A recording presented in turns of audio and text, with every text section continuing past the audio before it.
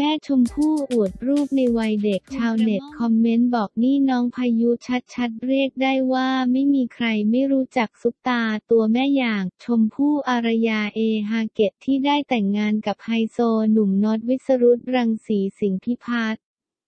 และมีทายาทลูกแฝดอย่างน้องสายฟ้าน้องพายุที่ทำเอาบรรดาแฟนคลับหลงรักกันทั่วประเทศกับความน่ารักของลูกแฝด ซึ่งต้องบอกเลยว่าถึงแม้ว่าสาวชมพู่นั้นจะเป็นถึงซุปตาเบอร์ต้นของประเทศ แต่วิธีการเลี้ยงลูกของ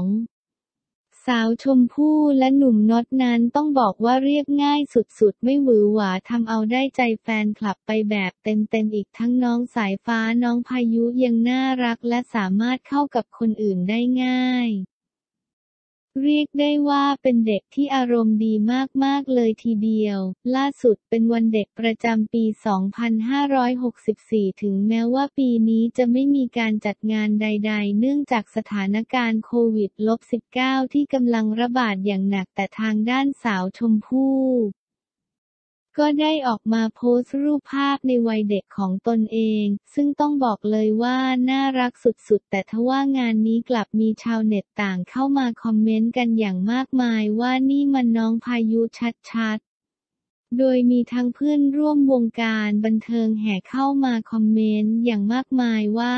ทำไมรูปนี้เหมือนพายุว่วงงลุกโกะพายุนี่คะ เหมือนพายุใส่วิก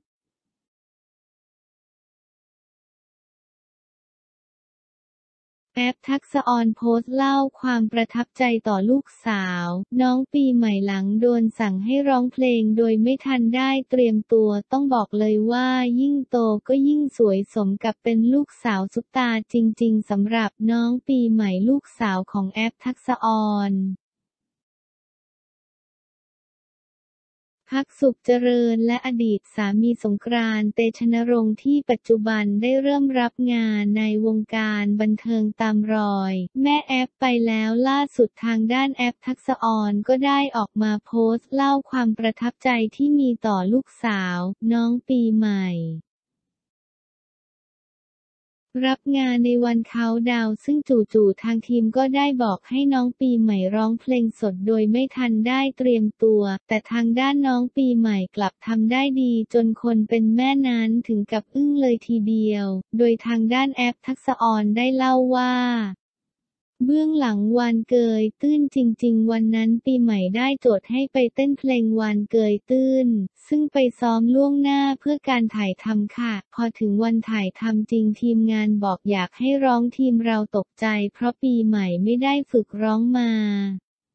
ถ้าเป็นงานแอปแย่แน่ เพราะไม่ชอบต้องทำอะไรที่ไม่ได้เตรียมตัวมา แต่สำหรับปีใหม่ตรงกันข้ามไม่ได้กังวลอะไรเลยค่ะพร้อมคว้าไม้พร้อมลุยและดีใจที่ได้รับโอกาสนี้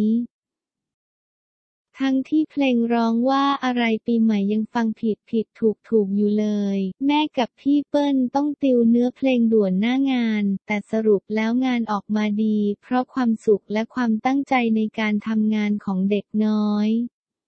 สำคัญกว่าความถูกต้องความเป๊ะที่แม่ชอบคิดไปเอง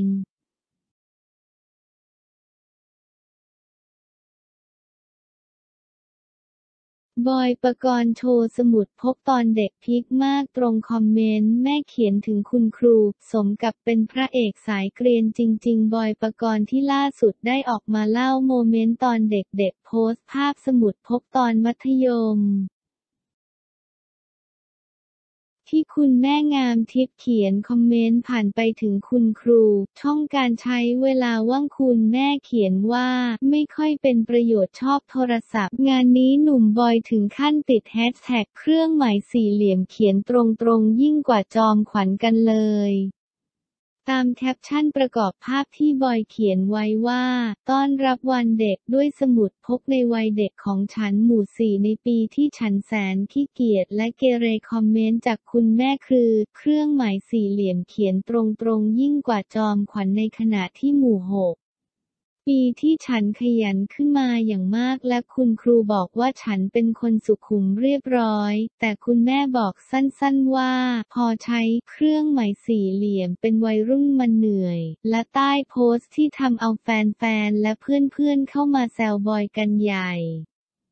กับแต่ละช่องที่คุณแม่คอมเมนต์ไว้ เช่นเกรซวรินทร์ที่แซวว่าไม่ค่อยเป็นประโยชน์ หรือจะเป็นป้องนวัดก็แซวเหมือนกันตรงช่องนี้ว่า ชอบโทรศัพท์แต่เด็กเลยนะเรา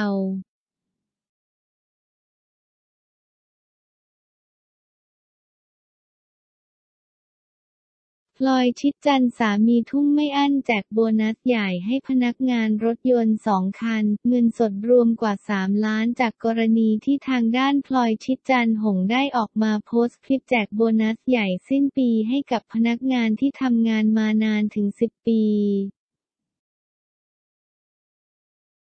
ตามคำสัญญาที่สามีเคนหงเคยให้ไว้กับพนักงานเมื่อ 10 ปีก่อน ซึ่งปัจจุบันมีพนักงานที่ทำงานถึง 10 ปีเหลืออยู่เพียง 3 คนเท่านั้น โดยงานนี้ทางด้านพลอยชิดจันและสามีก็ได้หอบเงินสด 5 0 0แสนบาทไปให้ ซึ่งมีคุณลุงวัย 70 ปีได้เงินสดจำนวน 5 0 0แสนบาท พร้อมกับการเลี้ยงเกษียณอายุและอีกสองคนเป็นสามีภรรยาได้คนละ 5 0 0แสนบาท โดยครอบครัวนั้นได้เงินสดถึง 1 ล้านบาทอีกทั้งทางด้านสามีเคน ยังได้บอกว่าการให้เงินเพื่อที่จะให้ไปใช้หนี้ เพราะการไม่มีหนี้นั้นที่ดีสุดไม่ใช่ไปสร้างหนี้เพิ่มนะและไม่เพียงเท่านั้น เพราะเจ้าตัวยังได้แจกรถยนต์ให้กับพนักงานอีกสองคนเป็นรถฮอนด้าซิตี้หนึ่งคันและรถ โตโยต้ายาริสอีกหนึ่งคันทำเอาพนักงานถึงกับกลั้นน้ำตากันไว้ไม่อยู่ร้องไห้โฮออกมา และยังให้สัญญากับพนักงานอีก 11 คนว่าถ้าใครทำงานจนถึงปี 2030 จะแจกโบนัสใหญ่อีกคนละ 200,000 ถึง 500,000 บาท ซึ่งจะมีโบนัสใหญ่ทุก 10 ปี แต่ขอให้ทุกคนตั้งใจทำงาน ซึ่งงานนี้เมื่อคลิปได้เผยแพร่ออกไปก็ต้องบอกเลยว่ามีชาวเน็ตเข้ามาคอมเมนต์ชื่นชมกันอย่างมากมาย ที่มีน้ำใจและเห็นคุณค่าของพนักงาน